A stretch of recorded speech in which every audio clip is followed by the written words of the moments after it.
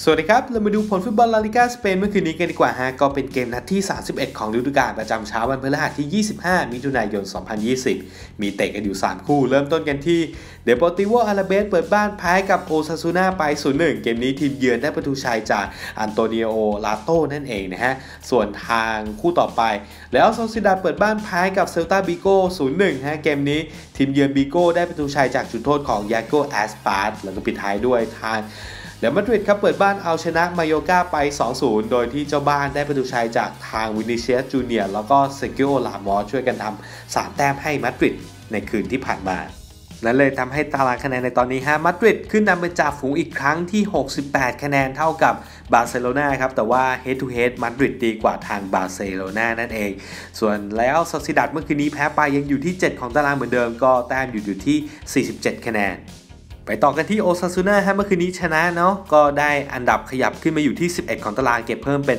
38 คะแนนเท่ากับเลเบนเต้ฮะแต่ว่า head to head โอซาซูน่าดีกว่านั่นเอง ส่วนทางเดโปติโวอาราเบสก็ยังอยู่ที่ 13 ของตารางเหมือนเดิมมี 35 คะแนน เซลตาบิโกอยู่ที่ 16 ครับมี 33 คะแนนห่างจากโซนตกชั้น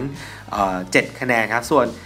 มาโยกายังอยู่ในโซนอันตรายครับอยู่ที่ 18 มีอยู่ 26 คะแนนเหมือนเดิม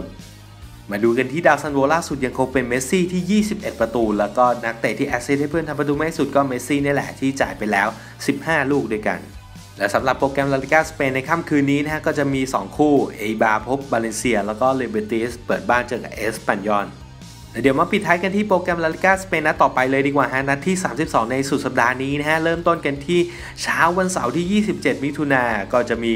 เซบียาเปิดบ้านเจอกับเรอัลบายาโดลิด คืนวันเสาร์นะครับ ผมก็จะเป็นบิลบาเจอมาโยกาเซลตาพบบาซ่าโอซาซูนาเจอเลกเนส แล้วก็แอตมาดริดเจอกับทางเดโปติโวอาราเบสวันอาทิตย์ที่ 28 มิถุนามีเลเบนเต้เจอเลเบนเตสบียาร์เรอัลพบบาเลนเซียกานาดาเปิดบ้านเจอกับเอบาแล้วก็เอสปันยอนพบเรอัลมาดริดก่อนจะปิดท้ายกันที่คืนวันจันทร์ต่อเช้าวันอังคารที่ 30 มิถุนาเกตาเฟ่เปิดบ้านพบกับเลอัลโซซิดัด